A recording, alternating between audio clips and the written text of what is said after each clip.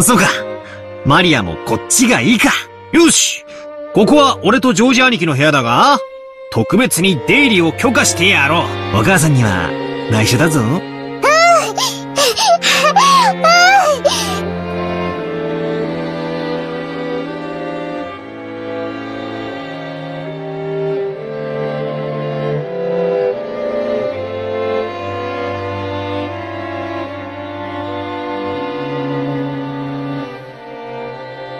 おいガキども。お前らはどうする？ここでいとこ同士、おしゃべりでもしてるか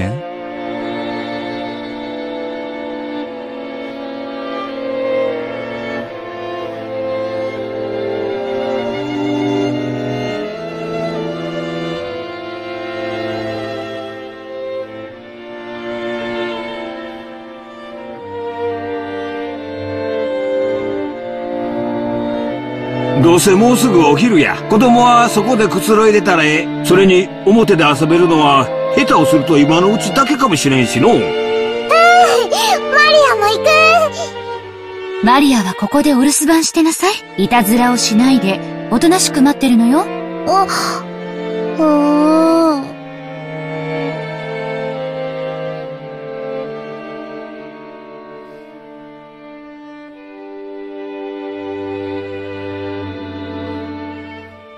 じゃあ、僕たちはお言葉に甘えて、留守番してようか。一年ぶりに積もる話もあるしね。それがいいわ。バトラ君なんか、6年分積もってるんだしね。へいへい、お子ちゃまな俺は、おとなしくお留守番してるぜ。熊沢さん。私もこっちに残るからよ。あとは大人に任せて若者は退散してるぜ。それがおよろしいでしょう。奥様にはそのようにお伝えいたします。それでは皆様、お屋敷の方へご案内させていただきます。どうぞこちらへ。他の子はともかく、ジョージは成人してるんだから、連れて行った方がいいんじゃない？そんなんで、ジョージだけ仲間外れはかわいそうやで。いとこ同士の交流も大事や。ほな、行ってくるで。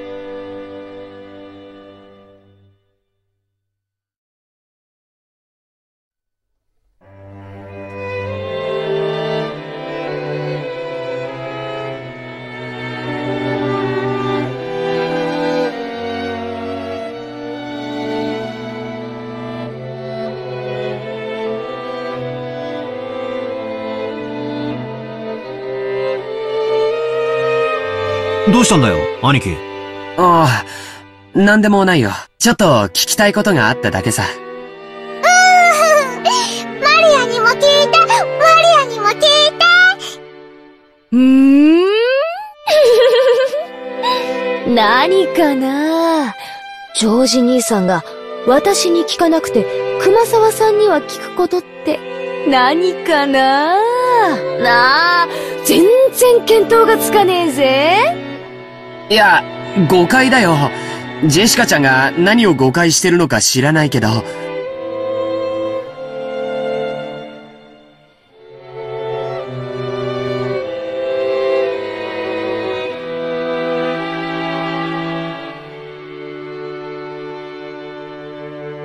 なあ、マリア。俺たちだけのけ者なんてねえよな。何の話か、聞きてえよな。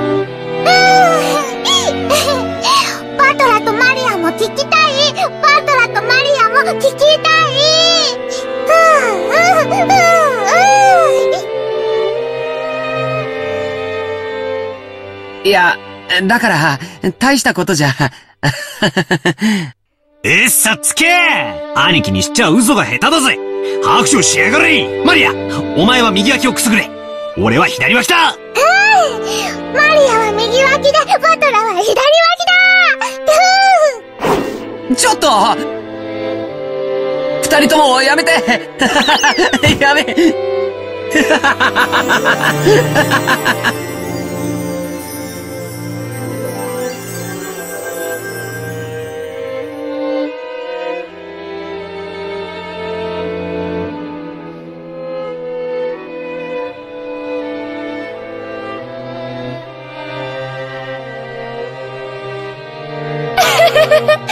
ジョージ兄さんが熊沢さんに聞いたのはね、うーん、まあ、ほら、あれだぜ。兄さんも本家は一年ぶりだからよ。その間に辞めた使用人とか入った使用人とか、そういうのがいたら挨拶したいって、そういうことらしいぜ。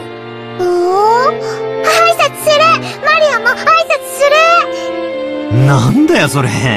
全然やましくねえじゃねえかよ、兄貴。うーん、違うな。マリア、騙されるな。兄貴は何か隠してるぞ。尋問再開だうおりゃいや、やめてよ、本当に マリアちゃんも、もうやめて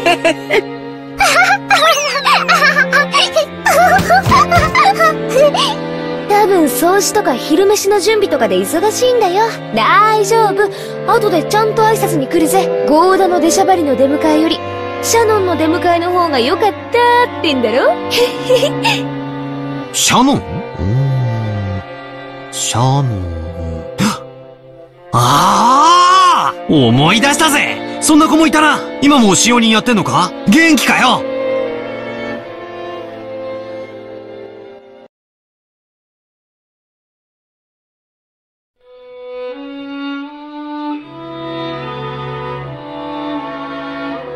そういや、夏日姉さん、最近頭痛の方はどうなんや？一時だいぶしんどそうにしとったろ。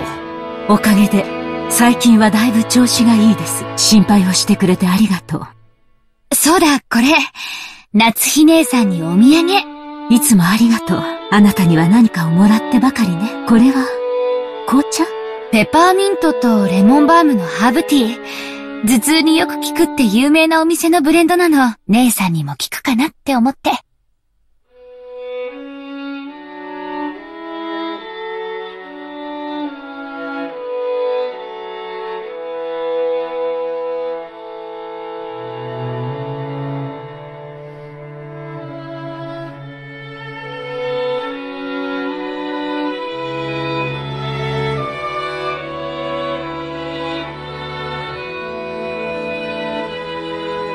そういえばあなた、いっつも頭痛だって言ってたわね。しっかりなさいな。ジェシカちゃん、今年は受験でしょ？人生の節目じゃない。母親のあなたがそんなじゃ頼りないわよ。それに夏日姉さん私より三つも若いんだから、もうちょっとしっかりなさい。ごめんなさい。生まれつきの頭痛持ちなもので。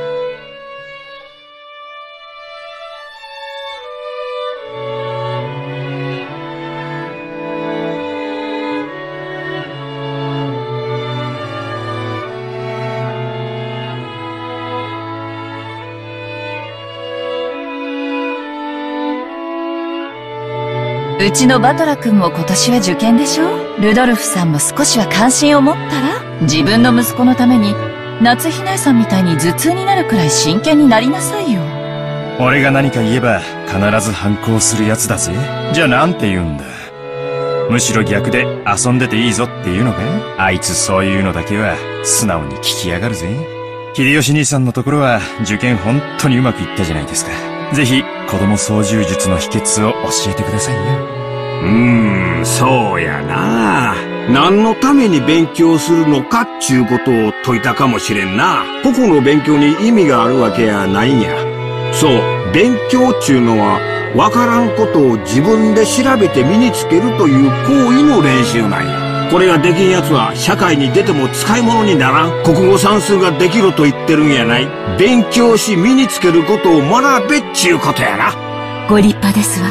うちのジェシカにも、それが理解できればいいんだけど、今のままでは、とてもじゃないけど、後宮家の跡取りとしては、いいじゃないの。無理に後取りにしなくても。女には女の幸せというものもあるんだし、それを親が押し付けちゃ悪いわよ。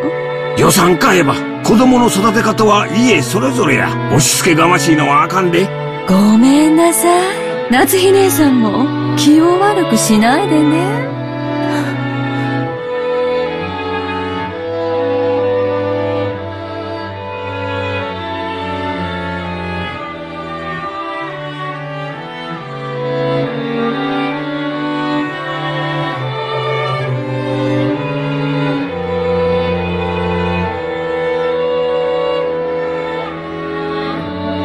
でも、本当に素敵な香りの紅茶ね。早速いただいてみましょうよ。レオポルドの紅茶なんて、日本じゃ確か銀座でしか買えなかったはずよ。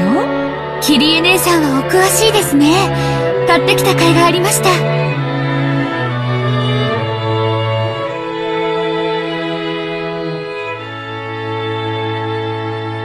お二人ともありがとう。それは後でいただきましょう。うちの者がすぐお茶を持ってきますので、どうぞおくつろぎください。二人とも後にしろよ。ウェルカムドリンクくらいごちそうになろうぜ。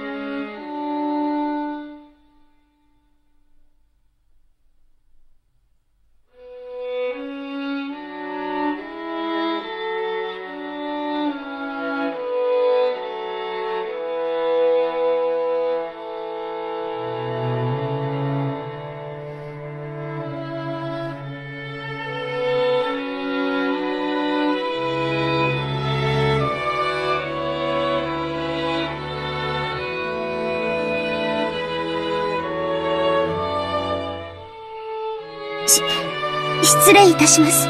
お茶のご用意をさせていただきます。おう、シャノンちゃん。久しぶりやの。ますますべっぴんさんになりよったな。いえ、あの、どうも。おしゃべりは配膳を済ませてからになさい。お茶が冷めます。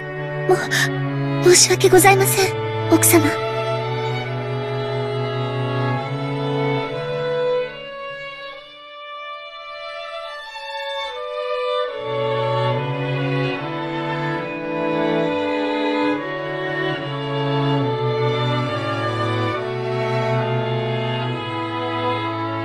いいのよ、夏日姉さん。挨拶の一つくらいしたってどうってことないわよ。もう十分待たされてる分、十分お茶も冷めてるもの。そ、それは大丈夫です。冷めてはおりませんので。シャノン、早く配膳を済ませなさい。し、失礼しました、奥様。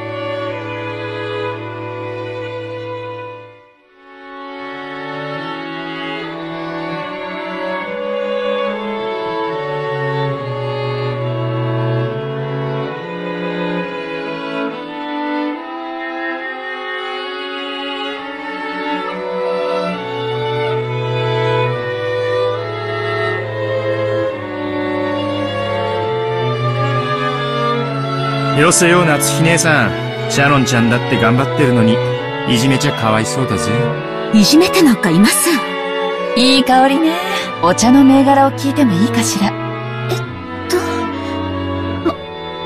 も、申し訳ございません。後ほど調べてまいります。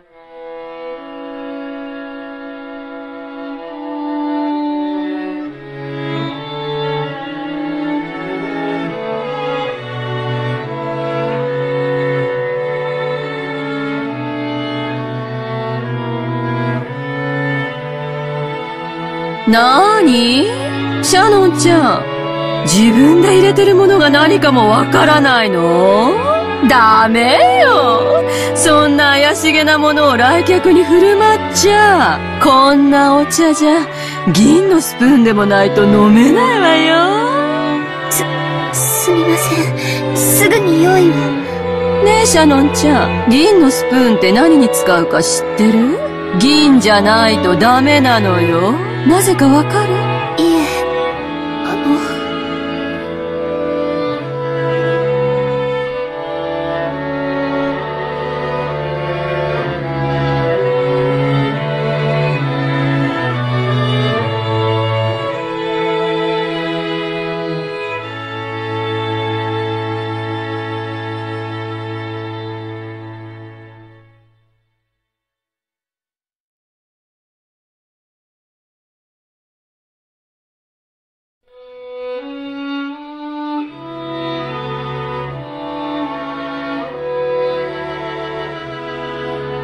銀は毒に触れると曇るって言われてるの。シャノンちゃんも一つお勉強ができたわね。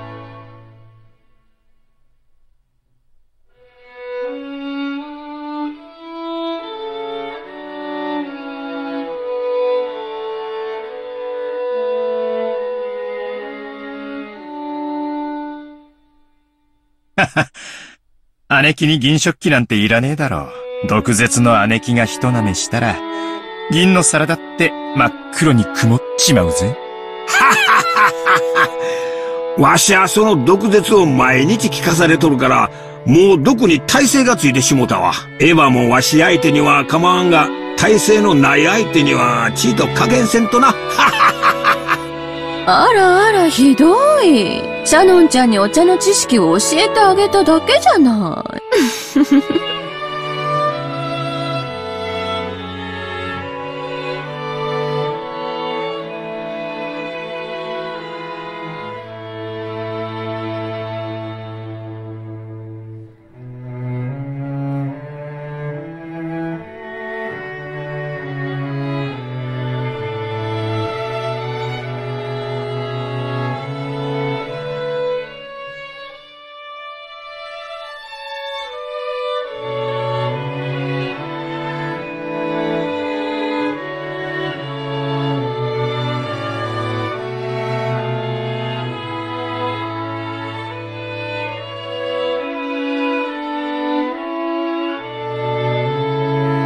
気を落とさないで。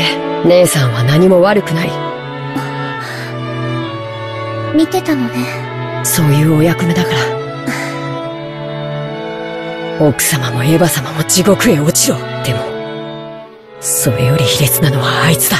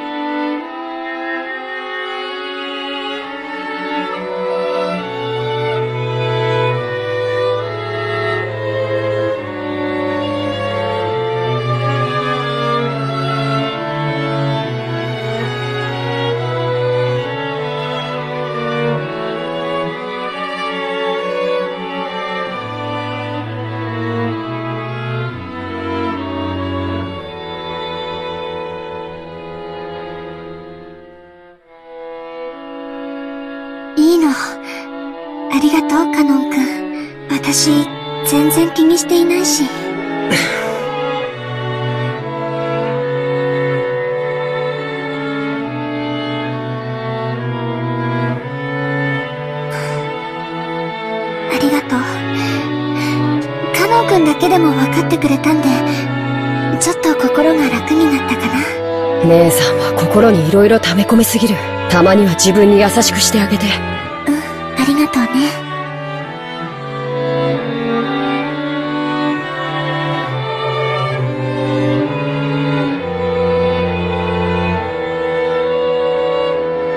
そこで何をしている？シャノン。早く厨房に戻りなさい。あ、はい、失礼いたしました。